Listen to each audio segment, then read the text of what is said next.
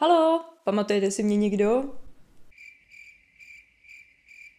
Jakože já vím, že jsem starší a že mi to trvá trošku déle se vyžvejknout a, dojít k té pointě, ale, ale stále jsem relevantní, ne? Nebo ne? Nechápíte mě špatně, ale tohle téma jsem si těžce vydobala svým neustálým, konstantním povňukáváním si nad tím, jak člověk, který rád mluví a nejspíš se i rád poslouchá, musí krátit čas toho, kdy mluví a pak se i rád poslouchá. Všechno to začalo jednoho krásného dne na YouTube, kdy jsme byli schopni mluvit minuty, desítky minut o jedné jediné konkrétní knížce, kdy jsme si mohli dovolit to, aby nám trvalo dojít k té podstatné věci, k té pointě toho videa. Lidi to milovali. Že jo, pamatuješ si to? Mm, asi ne. Já jsem moc YouTube nejela, víš, víš TikTok.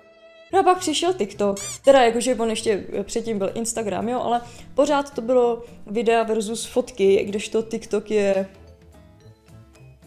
No, TikTok. A najednou se z problému, jakou další scénu natočit, aby tady to video na YouTube mělo alespoň 3 minuty, stal problém, vlastně ten problém vymizel, protože jste nepotřebovali přidávat scénu, ale stačilo prostě natočit jenom jednu scénu, měli jste video.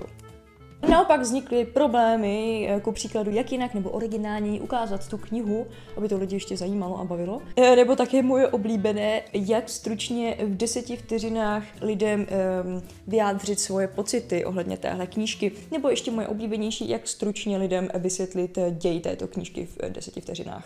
Teď se dostáváme k mému oblíbenému nostalgickému povzdechu nad tím, jak se svět vyvíjí, jak se lidi vyvíjí, jak se lidi mění, jak svět se mění, jak se mění sociální sítě, že už dávno odzvonilo kdy jsme si sedli do pohodlného křesíka před svýma krásnýma knihovničkama a hodinu jsme mluvili, prostě tlachali o knížkách, které jsme měli, možná ani ještě nečetli, ale měli jsme je e, e, e. Dneska se všechno přesouvá na TikTok, který má naprosto skvělou schopnost, kterou krásně vystihla eh, Sarah Anderson ve svém úžasném jednom krátkém stripovém komiksu, nebo komiksovém stripu, že TikTok vezme něco, co bylo už dávno, dávno před lety, prostě hluboce zakopané a už dávno to tam odpočívá v pokoji, TikTok to vezme, vyrve to z té země a udělá z toho trend. A pak je to všude. A z toho potom, když tady tu myšlenku přinesete na ty knížky, vzniká to, že potom si jedete do zahraničí na dovolenou a najednou všude po knihkupectvích potkáváte regály s hashtagem BookTok Made Me Read It. A já se vás ptám, kde je nějaký hashtag BookTube Made Me Read It? Jakože kolik knížek jste si koupili a přečetli na základě jednoho videa, kde jste dost pravděpodobně koukali na video, kde ten člověk mluví o jedné knize. No, asi jste si koupili a přečetli tu jednu knihu. Když to kolik knížek jste si koupili a přečetli na základě tří vteřin, ve kterých deset knížek bylo. Vlastně Hodně. To možná přeháním, nechci to odsuzovat, krátké formáty jsou také formáty, kdy si známe jako Vines, dneska to jsou prostě TikTok Reelsy. Stále musíte přemýšlet nad tím, jak to natočíte, jak být kreativní, jak člověka zaujmout. Jo, je to stále těžký a prostě makáte a děláte na tom celý den, abyste potom vyšli s výsledkem 15 vteřin. Ono to zní fakt, že to hrozně hejtím, ale pojďme si říct pár věcí, kterými přijdou na knižním TikToku a BookToku boží, aby to fakt neznělo, že to tady jenom hejtím. Za prvé, co mě baví? Přechody. Už dávno odzvonilo době, kdy vy prostě vezmete do ruky knížku a bavíte se o nějaké knize a pak, když už o ní nemáte co říct, tak ji tak jako odložíte a vezmete si do ruky další. Ne, dneska se musí dělat zajímavé přechody a těch přechodů je fakt strašně moc a když je člověk opravdu kreativní a šikovný, tak si vymyslí fakt jako superové přechody a vy kolikrát, mnohokrát jste se určitě načapali u toho, že koukáte na to video znova a znova, protože je krátké, jenom kvůli tomu, abyste zjistili, jak husté ty přechody jsou, jak smooth jsou. Prostě proto žijem, aby to bylo smooth. Už to není o tom, že vám ukazujeme jenom krásnou obálku té knížky, už je to o tom, že my vám uděláme na vaší obrazovce, na vašem malém displeji magický trik s knížkou. Trendy. Dřív vládly internetu, nebo spíš YouTube, tagy tagy. Lidé se tagovali v otázkách, v tom, kdo další má ten tag vyplnit. Ty otázky byly tak jako různě věnované, třeba nevím, ročnímu období, teďkom třeba Halloweenu, dušičkám, prostě podzimu, barevnému listí, co já vím, cokoliv jste, co jste si vymysleli, tak to mohlo být předěláno v tag, pokud jste na to měli nějaké otázky zajímavé. Ku příkladu, já nevím, barvy podzimu na listech, zelená, žlutá, červená, oranžová, tak vyber čtyři knížky s tady tou převažující barvou na obálkách.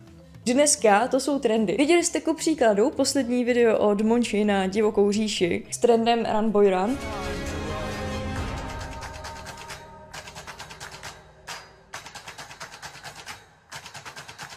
Tohle je za mě úplně boží trend. Je to víceméně taková blbůstka, ale miluju to. Skvěle se na to kouká, dýchne to na vás tu atmosféru, kterou to má vyjádřit. Víceméně to funguje jako videová Pinterestová nástěnka. Opravdu jakože vizuální dojem, který vy z toho potom budete mít, je mnohem víc než nějaká květnatá slova, která já se tady můžu napsat do scénáře a pak vám je přeříkat. Za mě boží, ještě ke všemu s boží hudbou, takže Win-win. Třetí věc jsou algoritmy. Občas se může zdát, že většina tvůrců i netvůrců na algoritmy nadává, ale pravda je taková, že za dob YouTube, když jste měli rádi Saru J. Maas, a co většinou chcete dělat, když si přečtete nějakou strašně dobrou knížku? Vy se chcete tou knihou hrozně jako, chcete se do ní zabalit, chcete prostě vědět víc, chcete, určitě to taky tak máte, když už přečtete něco dobrého nebo vidíte něco dobrého, tak potom prostě sledujete ta videa a hledáte ten obsah a prostě komentáře a, a prostě se ještě víc hypujete v tom svém hypu. No a tehda toho tolik nebylo. Jo, jakože dneska máte tolik možností, když si něco oblíbíte, tak se ponoříte do toho TikToku, ponoříte se do toho al- algoritmu, vyhledáváte si tu knížku, vyhledáváte si fanarty, vyhledáváte si různá videa k té knize, jedete, sosáte, zjišťujete, hádáte se, bráníte autorku, teoretizujete, vymýšlíte, prostě si tou knihou celý zabalíte a vyžíváte se v tom. Představte si, že by internet neexistoval, že byste jako fakt dočetli tu Saru J. Maas někdy před sto lety a prostě ta knížka by končila nějakým cliffhangerem, já teď se nemůžu vzpomenout, který ten díl. Já bych řekla, že všechny díly, všechny její knížky končí nějakým obrovským cliffhangerem, který vy prostě dneska, co děláte, proberete to s někým, nebo to snažíte s někým probrat skrze to, že sousáte tady ten content. Co byste dělali před sto lety? Nic. Před sto lety byste padli do strašné depky. prostě byste dočetli nějakou knihu, museli byste čekat, víceméně byste třeba ani se nemohli dostat k dalšímu dílu, protože byste byli omezený na knížky, které máte ve své knihovně, které jste zdědili tady někde a prostě byste to neměli jak ze sebe dostat. To je strašné. Neměli byste to kde ventilovat. Zlaté internety, zlatý TikTok. Navíc to pak můžete spláchnout nějakými dalšími typy na 10 podobných knížek, abyste to potom ten smutek v sobě, že jste něco dočetli a nevíte, co dál se svým životem, abyste to mohli nějak jako no, překonat. Takže k tomu je skvělý, když máte vyškolený svůj algoritmus. Teda blbý je potom, když je týden, kdy Harry Styles eh, měl svůj koncert. Jo, to asi moc knížek se vám na TikToku nezobrazuje, že Pončo. Jakože, jo, YouTubeová videa, fajn, nemám k tomu víc co říct. Určitě by nás ale zajímalo, jaký názor na to máte vy. Jak jste do tady té komunity přišli, jestli už eh, byl Instagram, nebo jestli ještě teprve byl YouTube a Instagram byl tak jako trošku v plenkách tady v Česku a na Slovensku, nebo jestli jste přišli až teď s TikTokem, nebo jestli TikTok vůbec nesledujete, jde to úplně mimo vás. Napište nám, jak to máte vy do svých komentářů. My se moc těšíme a nezapomeňte, že nás můžete sledovat jak tady na YouTube, jak tady na Instagramu, tak na TikToku, kde nemůžu říct tady, protože tady to video není na TikToku. A uvidíme se zase u dalšího videa. Mezitím nás můžete odebírat, koukat na jiná videjka a, a tak. Tak se mějte krásně a čau.